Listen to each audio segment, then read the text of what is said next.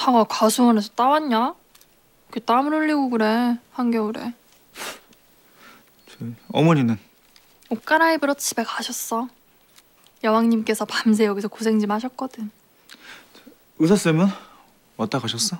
뭐 오늘 내일 경과 보고 퇴원해도 된대 어, 그, 저 많이 아프냐? 많이 아프지 이만 진통제 맞아서 지금은 괜찮아. 야 얼굴 펴라.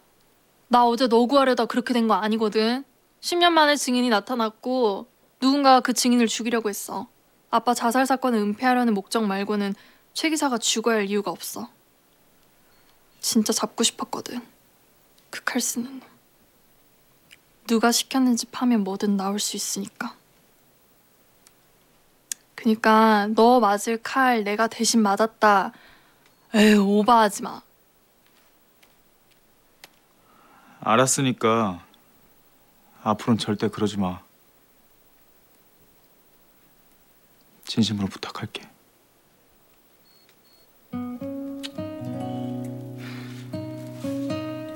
이 사과 나 어릴 적부터 아플 때마다 먹던 거다 숟가락으로 석석 긁어서 한 입씩 떠먹여 주셨어 우리 아빠가. 참 이상하지 촌스럽고. 나름 재벌집인데 믹서기로 갈아서 먹이면 될 거를. 옛날 할머니처럼 숟가락으로 석석 긁어서.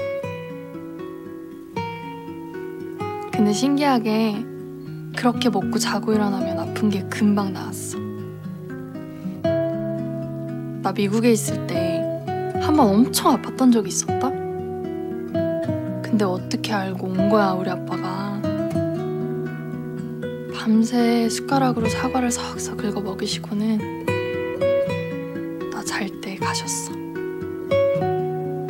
너무너무 바쁜데 내가 아프다니까 그 먼 길을 다녀가신 거야.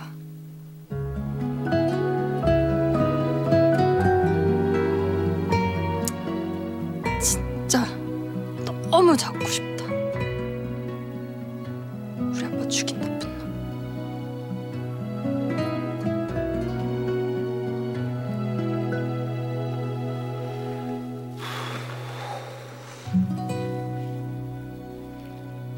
출근 안 하냐? 어, 해야지. 근데 그 전에 잠깐 들를 때가 있다.